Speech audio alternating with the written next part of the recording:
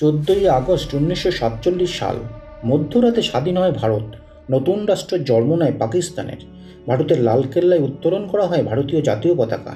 আর এই সম্পর্কে পাকিস্তান মনে করে, উপমহাদেশে মুসলিমদের জন্য তারা আদায় করে নেয় একটি হোমল্যান্ড। ভারতীয়রা মনে করে তারা স্বাধীনতা ছিনিয়ে এনেছে, আবার ব্রিটিশরা ক্ষমতা হস্তান্তর করেছে বলে দাবি করে। তবে কোনটি সঠিক সেই বিষয়ে থাকতে পারে বিতর্ক, কিন্তু ধর্মের ভিত্তিতে যে দেশভাগ করা হয় সে বিষয়ে কোনো সন্দেহ নেই। কিন্তু কীভাবে? কি ঘটেছিল চোদ্দই আগস্ট? কত মানুষের প্রাণ বিসর্জন হয়? ব্রিটিশদেরই বা কী অভিসন্ধি ছিল? এই সমস্ত কিছুই জানবে আজকের ভিডিওটিতে। প্রথমেই দেখা যাক ভারতের স্বাধীনতার প্রাককালে প্রেক্ষাপটটা ঠিক কেমন ছিল। সময়টা ছিল এগারোই জুন উনিশশো পঁয়তাল্লিশ সাল।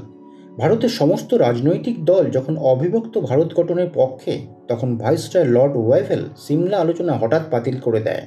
তবে ব্রিটিশ মন্ত্রিসভায় আবার প্রশ্ন ওঠে উনিশশো আটচল্লিশ সালে জুন মাসের মধ্যে ক্ষমতা হস্তান্তর করা হবে ভারতীয়দের কাছে।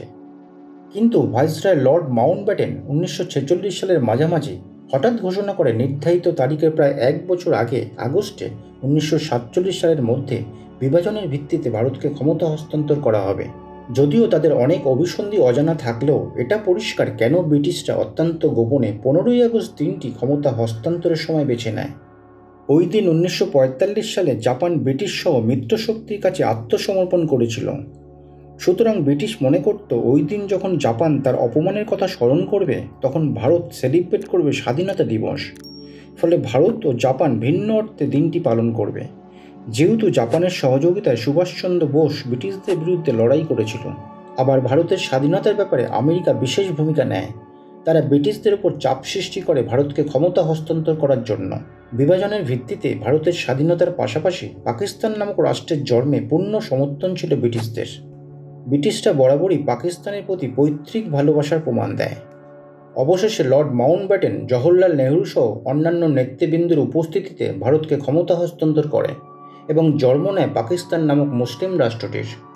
কিন্তু এখন প্রশ্ন হলো, দেশ বিভাজনের ফলে কতটা প্রভাব পড়ে উভয় দেশের তা দেখে নেওয়া যাক। দেশ বিভাজনের সাথে সাথে মুসলিমরা পাকিস্তানের দিকে, হিন্দু ও শিখরা ভারতের দিকে অগ্রসর শুরু হতেই সৃষ্টি হয় চরম বিশৃঙ্খলা। বিভাজন, দাঙ্গা, ব্যাপক প্রাণহানি শুরু হয় দেশে, বিশেষত সীমান্তবর্তী অঞ্চলে। নিরাপদ অঞ্চলের আশায় লক্ষ লক্ষ লোক পায়ে হেঁটে গরুর গাড়িতে, ট্রেনে করে নিজেদের বসতি স্থান ত্যাগ করে এবং শেষ পর্যন্ত বাস্তুচ্যুত হয় প্রায় দেড় কোটি মানুষ। এই চরম বিশৃঙ্খলা রুখতে বা আইন শৃঙ্খলা রক্ষার্থে ব্রিটেন তার সৈন্যদের ব্যবহার করতে অনিচ্ছুক ছিল আর সবচেয়ে চরম ও বিপজ্জনক পরিস্থিতি ছিল পাঞ্জাবে। দেশভাগের পর সাম্প্রদায়িক দাঙ্গা থেকে শুরু করে শরণার্থী শিবিরের মাধ্যমে ছড়িয়ে পড়ার সংক্রমণ রোগের দ্বারা মৃত্যু হয় লক্ষ লক্ষ মানুষের, যার কোনো সঠিক হিসাব এখনও পর্যন্ত পাওয়া যায়নি। আবার ভারত ও পাকিস্তান উভয় রাষ্ট্রই দেশ বিভাজনের পরবর্তী উদ্বাস্তুদের আবাসন এবং পুনর্বাসন দিতে বিশাল সমস্যার সম্মুখীন হয়।